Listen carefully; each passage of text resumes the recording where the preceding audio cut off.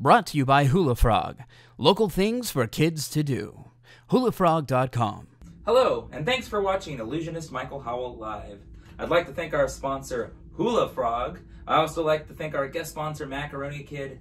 Uh, another thanks to Arizona Families, Mildred and Dildred, and Williams Magic Shop. If you guys want to figure out what supplies you're going to need for each episode, you can go to illusionistmichaelhowell.com and there will be a supply list at the top of uh, the Illusionist Michael Howell live page.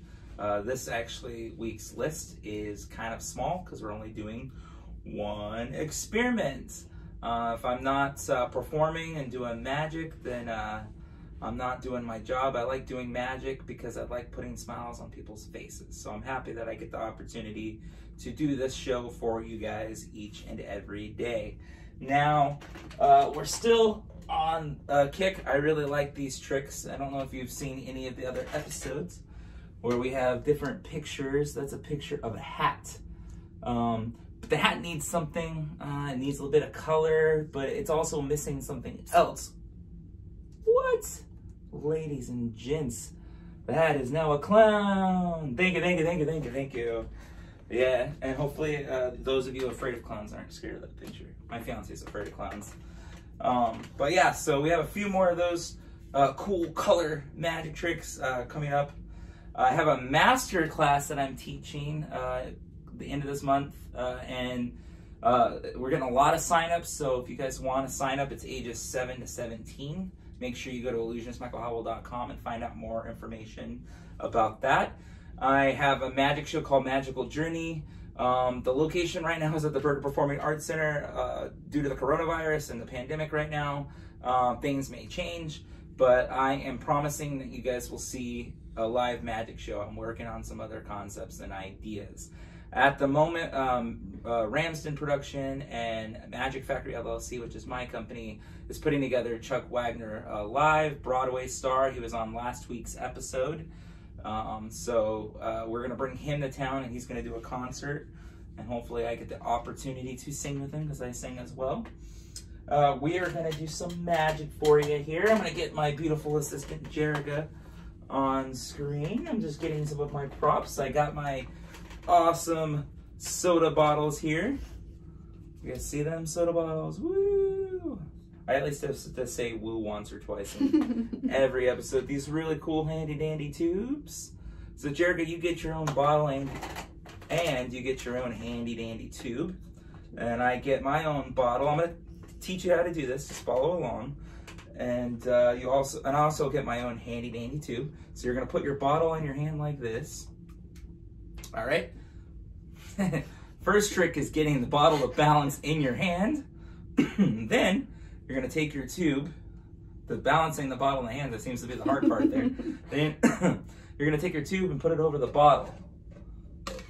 All right, and then on the count of three, you guys count with me. You're gonna just flip it to the other hand and I'll show you what I mean. Just do it after me. One, two, three. Flip it like that three. There you go. Don't cover me up. Make sure they can see both of us. All right, guys. And now the bottle is still right side up. All right, Jerica, show off your bottle. no, you you didn't do it. You didn't do it right. We're gonna do it again. All right. All right. You didn't even have. You don't have to take off your your your thing all the way. Just you can just show it off like that. See. See, and she's my magic assistant, guys. All right, so keep it upside down in your hand like this.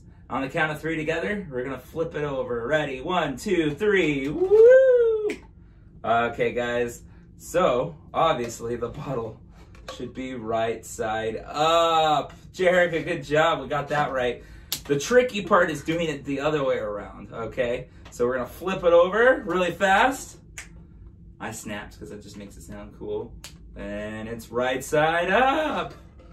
No, Jerica. Here, flap. We're to flip it back around like that. All right, obviously it's right side up. It's not that difficult. See? Now we're going to do it again. All right. Why don't we snap? Obviously. Oh, now both of them are upside down. That's crazy. I don't know. I got a headache. I'm to go ahead and put that stuff down here. That was fun. Oh, man crazy, crazy. Guys, I love magic. I really miss performing live, so I'm really excited about the opportunity to perform live in front of a live audience. It's definitely not the same getting to perform on this YouTube show that I get to do for you guys. But I'm blessed that I got to do I get to do this because at least I get to perform, right? We are gonna do our science experiment. Uh, you're gonna need your baby food jar. Um, surprisingly, Jerica was really excited because she got to eat the baby food, but so was I because we're weird like that. But you're gonna need your own little baby food jar. Uh, you're gonna need salt. Ba-bom, that's a giant thing of salt. Um, you're gonna need a marble and a spoon. Now I'm very sanitary. I cleaned and washed my marbles so that it would be good and clean. Make sure you have a nice clean spoon. Um, I set it on paper towel. You don't have to do that. You can do this anyway. But what we're gonna do guys is we're going to make butter. Now I have forgot one important uh, thing. It's the heavy, um, the whipping cream. So you're gonna need that as well. Uh, I don't know if you guys have made butter before, but it's so fun. And these are the items you're gonna need. So you're gonna start by filling uh, your baby food jar halfway full with some whipping cream. Okay, guys. This is and this is this is a fun project, and it actually takes about five minutes. So that's about halfway. Um, it takes about five minutes. So during this episode, Jerica is gonna shake this bottle and even if she's assisting me, I'm gonna. It's her challenge. The whole episode, she's got to shake the bottle to make the butter. Um, so then after that, you're gonna add a, uh, a, half teaspoon of salt. So I'm gonna go ahead and do that. And this is cool, a cool science experiment because at the end, guys, you can eat it. It's really cool. Make sure you refrigerate it because that's important. There we go. I think that's probably good. What do you think, Jerica? Is that good? Yeah. All right. She approves, guys. And that's why we're getting married. And then last but not least, you're gonna add, it's very hard to see, uh, this marble here. So you're gonna put that in there. Boop. Made a loud noise. And then you're gonna make sure that when you're doing this, you put the lid on really tight because it would be really gross and get everywhere. And then you're just gonna shake it. Shake, shake, shake. Shake your shake. Shake that butter. Shake that butter. Sing with me, guys. Shake, shake, shake. Shake, shake, shake. Shake that butter. Shake that butter. Or if you have a rhythm, you guys can do like different rhythms. Be like uh, in Tucson, Arizona, we got Mr. Nature. He does he does different rhythms. So like this would be your shaker. It'd be cool if Mr. Nature had these at his shows and like kids, you're gonna be my my maraca shakers, and then um, you're gonna be the bongos. Yeah, so just basically shaking this. It, it should take a while. Let's see. It's definitely getting thicker. And this just takes time, guys. It's gonna get thicker, thicker, thicker, thicker, thicker. And like I said, takes up to five minutes. And I didn't realize how loud this was. So Jerica doing this this whole time might be a bad idea. But uh, we can definitely, uh, you can you can see it at home when you guys do it. But basically, uh, let's see what, let's see how it looks right now. It smells good. It's getting a little thicker as you can, if you can see that. Um, but Jerica, I think we're gonna stop. But that's how you guys make butter. Again, they say it takes up to five minutes. So, and then the great thing about this, like I said, is you can eat it. So here you go. I'm gonna give that to Jerica. Bada bing, bada boom. Pretty darn cool. I'm gonna finish it. Oh, she just stuck her hand in it. Oh, she's taking the marble out so she can keep shaking because uh, you don't have to have the marble in there. I mean, it's just harder. The marble just makes it easier while uh, making the butter. Now it's that time of the episode, guys, where uh, we get to have our guest, Niels Don- Donker. He, might correct me here if I say his name wrong. Uh, amazing juggler from Holland. Uh, so here we go. Let's go into the screen.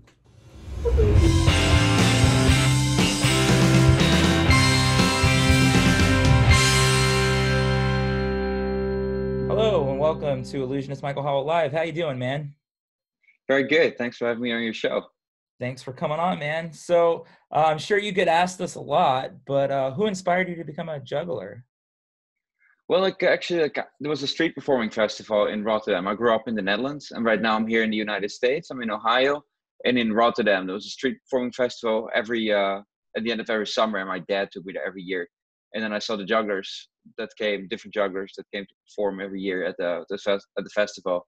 Wow. And it really inspired me. I just loved how people can come with a suitcase, stop a bunch of people on the street, really entertain them, and then uh, make everybody happy. So that inspired me. That's awesome, man. Yeah, that's the kind of cool thing about like what I do with magic. You can just go set up and on the streets with uh, with a suitcase, and Yeah. there's a lot of things that play big and pack small in magic. So being able to catch people's eye, you know, it's a real skill, but it's a lot of fun.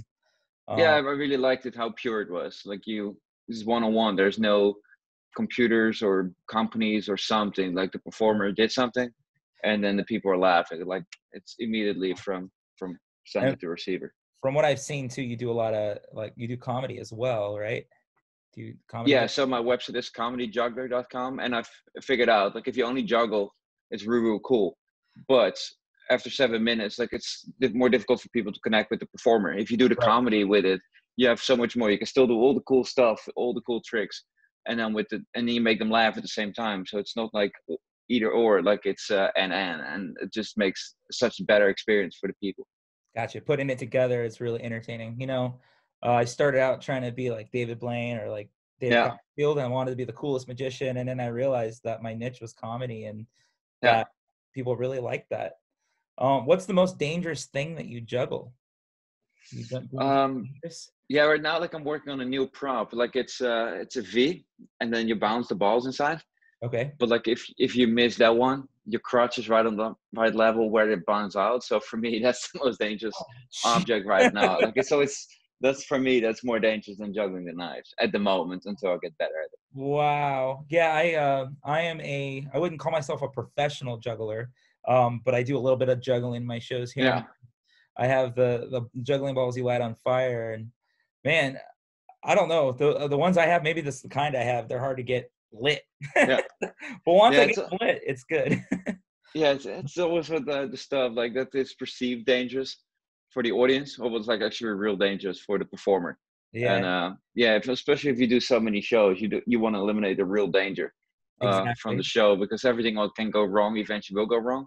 And right. it's- yeah, like like what Penn said as well from Penn and Teller, it's stupid if you just put yourself in danger. if you put something that is perceived dangerous and you Yeah. perform it uh, and you do it well, that's that's art. That's beautiful. And if you just do something real dangerous stuff and you put your audience or yourself in danger, it's just stupid. That's crazy. And then you get tired after doing it over and over again, and you make that mistake that puts you in the hospital. So you don't want to do that. The Yeah, nine it's n- I've noticed uh, when I juggle them, because I do juggle them, they aren't like they're not. I mean, they're sharp, but it, with impact, they can do some damage. Is what I've noticed. Yeah, and certain brands they're heavier too, and then uh, especially if you do knives behind the back, the tip of the of the blade is still pretty close to your eye, so you still have to be very careful. I I've seen them go. Um, luckily, I put down like uh, I had a special floor down when this happened, but it went it goes in, it went into the stage, and then um, it was just bad. I cut my fiance. Oh dang! I was juggling and I was juggling towards her face, which is obviously, like you said, it's dangerous, but Oh people wow! like that excitement and that. And uh, I just cut the tip of her chin, and, and that's I And mean, she, and she stuck with you, so yeah, I know we're must- still getting married. like you. Yeah, so like I said, you uh, people like like like that almost that danger feel, but it's like funny because with the jokes with the knives, it was like when you do behind the bag, like putting future lives at risk. But like with the, your knife, you really like put put your lives possibly at risk Yeah, if you get I- married to her. Yeah. yeah, yep. Uh, so how did you learn? I mean, did you like watch YouTube videos? Those pe- the, the people that inspired you, did they teach you? Uh, so I was I've been juggling for over 20 years now. So YouTube did not exist by the time when I started juggling. So it was already like you have to dial in, and then it was like so like internet was like uh, not really a thing to look up juggling resources. So actually, I uh, a friend, uh, a dad, like the father of one of my best friends at the time, he was juggling a little bit as a hobby, and then there was some stores in the Netherlands where you can buy some juggling props.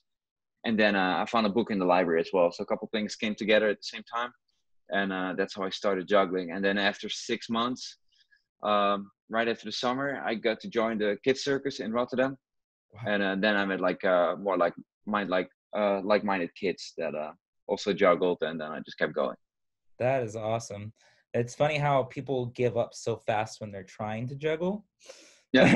they get so frustrated with it. And that was me like originally like I know what the juggling balls like I used to like throw this one up and it passed the other one over. Uh-huh.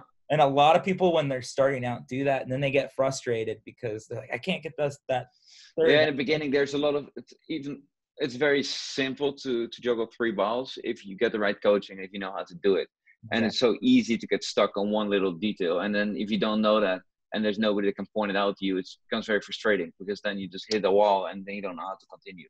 and then they give up. So I can only do three balls. I can do a lot of different tricks with three balls, but I've been Nice. to do four, and that's Yeah. I mean, I juggle. I mean, the basic. I I mean, you can tell me if I'm right. The basic would be juggling two balls in one hand. Is that correct? Yeah, correct. And for everybody that wants to look it up, actually on YouTube, I put a bunch of tutorials, Oh, and uh, a lot of people seem to like them. Some got oh, like my four ball tutorial got like about a million uh, views. Wow. So if you just put like how to juggle four balls, for your viewers, most likely they will find my tutorial and they will see like, yeah, what depending you described, like I do that one. So I had red balls, red balls in one hand and blue ones in the other one, and then people can see the difference in the That's pattern how they move through. and where do you perform mostly? Uh, right now, I'm in Ohio, in a town called Berlin, and um, I'm here at the Amish Country Theater. So this is my resident gig for this season. Before that, I was three years at the longest-running clean comedy variety show in the United States. which is the Comedy Barn. Wow. It's uh, now owned by the Dolly Parton Corporation. It was an 800-seat theater where we did two shows a day. Wow. So um, yeah, that was real cool. And before that, I was on the cruise ship. So those were the three uh, main gigs I've done uh, since I graduated from college. That is amazing, man. Uh, and like you gave a little bit of info of where people can find out more information about you, but where else? Like you have like website, Facebook. Like where can- Yeah, so basically the easiest because like in the US, my name Niels Duinker is very difficult to write for a lot of people. So if you go to comedyjuggler.com and then you can hit the icons for YouTube and Facebook and Instagram and all that stuff. Okay. Yeah, and I know I pronounce your name terribly. Oh, like no, actually you were you were close. Like it's uh like here it's like uh I was even thinking should I change my name to a little bit different stage name for here. But then also it's kind of cool if they see the spelling of my name, they know Yeah. it's an international act. So it's like kind of like pros and cons. So for my show here, the show itself is called Morning Throwdown. Okay. It's uh it's and uh that's a one hour uh, juggling show. It's my own my own show. And then I perform the evening shows here as well. Um but yeah, like I thought like I, that is just the, the show name and then my real name I just keep it so people can see that it's uh it's an international act which has some draw to it as well. That is so cool, man. Um, so uh, you told me that you were gonna send over some video, which we have, and we're gonna play. Yeah, actually, like this, the show I just mentioned, Morning Throwdown. Uh, that is the opening video to my show, so people get a little bit of feel what I do, and they get the feel of of the show here as well. So I thought it was the perfect combination. Oh, that's wonderful, man. Well, thank you so much for coming on the show. We're gonna play that video, Cool, it was great. And uh, maybe we'll get to work together someday. Thank you so much. All right. Thank Well, see you later. Bye bye. Bye. Welcome to the Amish Country Theater for the show Morning Throwdown, featuring eight time Guinness World Record holding juggler Niels Duinker. Niels is the original Dutchman here in Amish country. He is originally from Holland. His juggling and comedy shows have taken him all over the world, from Las Vegas to Dubai and from Tokyo to Berlin. First, the Berlin one in Germany, and now the one right here in Holmes County, Ohio. You may have seen him perform at the world famous Comedy Barn Theater in Pigeon Forge, at the MGM Grand in Las Vegas, or on board Disney Cruise Line. Niels is excited to be here with you today and sharing his crazy AM antics. Ladies and gentlemen, it's time to get your morning funnies in, and please welcome to the stage. Here is the comedy record breaker, Niels Duinker.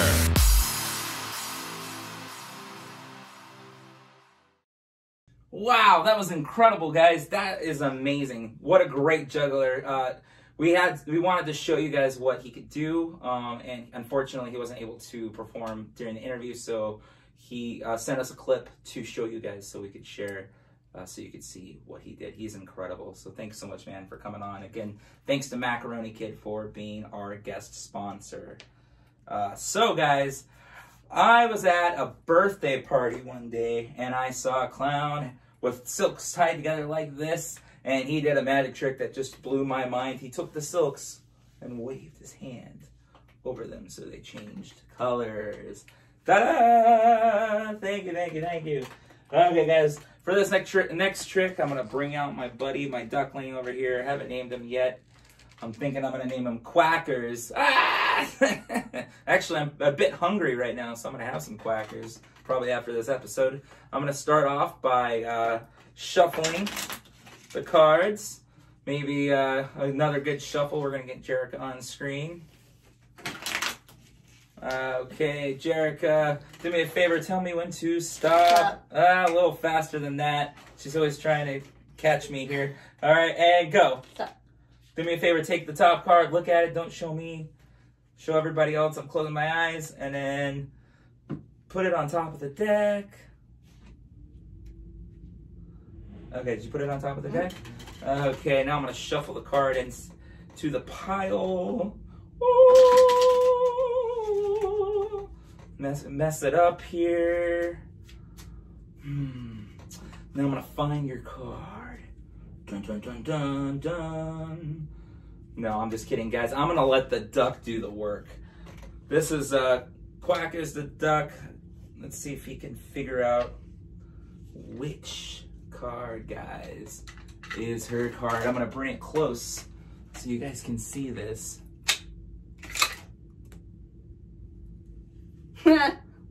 Take the card out, ladies and gentlemen. He picked her card. Dun dun dun. Big round of applause for Quackers, the duck.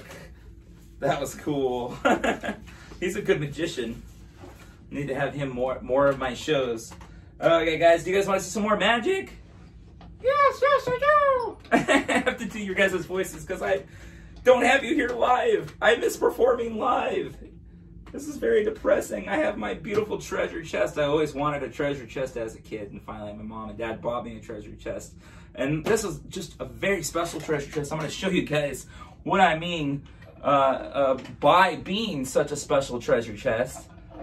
Is it's it's it's awesome. It's also got my favorite color on the inside, which is really cool. It's a cool treasure chest. It's an enchanted treasure chest, and I also like to call my magical treasure chest. On the count of three, we're gonna say the magic words. Hula Frog, our sponsor is, the, is Hula Frog. So ready? One, two, three. Hula Frog. Go ahead, open it up. And what do I find in the box? But a furry, adorable looking little rabbit. That's right, but guys, not just that little rabbit. Another furry little rabbit. That is Ricky and Lucy, guys. That is my rabbit's names. Super awesome. I love them. They're adorable. I'm just gonna move that over here. All right, guys, now I have an animal rescue. I just actually rescued a guinea pig. It's a long-haired guinea pig. Um, kind of funny looking. His name's Teddy. And uh, this is the thing, guys. Not only is it always hard for an animal rescue uh, to raise money and stay around, but now it's even harder because uh, people don't have jobs and they're not donating, and it's it's a difficult time, guys. And a lot of the, the corporate nonprofits, uh, like the Humane Society, like the bigger ones, are the ones that get the donations. Um, so Rose Ranch Animal Rescue, it's, it's the rescue that I, I run, is in need of your help.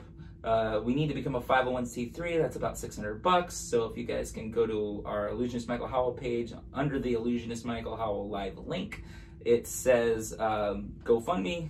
Click that. Uh, and you can donate whatever you want. A dollar, 50 cents, everything helps. Um, or if you want a t-shirt, we're selling we're selling them for $45, but that's a gift. That money goes 100% to Rose Ranch Animal Rescue. And let's not forget this awesome picture of me holding an animal that I'm gonna autograph that you guys can hang up on the wall to scare the bugs away. All right, guys. I mean, uh, we I cannot stress to you how much we need your help right now. Uh, we just rescued that cock. We just got that cockatoo a home. We uh, found a home for a dog. Uh, more than ever, animals just keep coming in. So we need you guys to help spread the word. Go to our Facebook page, Rose Ranch Animal Rescue. Help us by just getting the word out, guys. It it, it, it needs it. Uh, we have a fan club, so please join the fan club. It's on illusionistmichaelhowell.com. It's one of the first things that pops up on the page. Go check that out. Um, and there's more information there. Uh, but thank you guys so much for watching. It's that time, guys. Jerica, we don't have to worry about the butter. It takes five minutes. And uh, oh, look at that. She actually has. It's uh, most of it's starting to materialize, guys. Look at that into butter. So just keep shaking, shaking, shaking, shaking, and I guarantee you that will turn into butter. Now it's that time where we have the joke of the day. Jerica, what did the genie say to the mermaid? What did the genie say? That's not the joke. I'm just kidding, guys. Okay, here we go, guys. I've even added an extra joke. We used to only do two jokes, but I, I just find these amazing jokes, so I had to add a number three joke. Joke number three. All right, guys. Here we go. Jerica, what do golfers like to drink? What do golfers like to drink?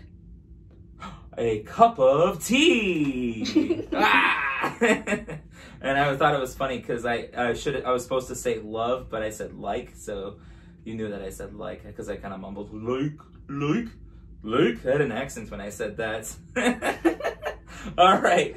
Uh, how did the telephone propose to his girlfriend? How did the telephone propose to his girlfriend? He gave her a ring. Boom. Thank you, thank you, thank you. I'll be here till the end of this episode, guys. Uh, all right, last one. Why are frogs rarely angry? Why are frogs rarely angry? They eat whatever bugs them. all right, guys. I'd like to thank you so much for watching this episode. I think it's episode nine of Illusionist Michael Howell Live, guys. We've gone through nine episodes. There's so much more in store for this uh, uh, the show. Uh, we've got some exciting announcements that we can't make yet, but they're in the works. Super excited about that. Uh, and we have so many incredible guests. I mean, we got Reid Park Zoo coming up in a couple episodes, uh, talking about the baby elephants. But next week, we have a really cool and special guest, professional world famous skateboarder Keith White's going to be on the show, maybe showing us some skateboarding tricks. I can't skateboard at all. Uh, I definitely test gravity when it comes to skateboarding, guys. Uh, so you definitely don't want to see me skateboard. And then um, I'm actually working on a new web show for uh, the grown-ups. It has like a PG rating. It's not going to be too crazy, but uh, me and my buddy Benny are doing a show, and it's called uh, Magic Squad and the first episode is going to be July 10th at 7:30 p.m. Check it out. Super excited. We're doing pranks. He's a magician, a comedian. I like to call myself a comedian at some some points. I'm also a magician. I'm doing some sideshow stuff, pulling pranks, magical pranks. It's going to be awesome. Check that out. Uh, and again, next episode, world famous skater Keith White is going to be on. Thank you so much for watching and have a great rest of your day.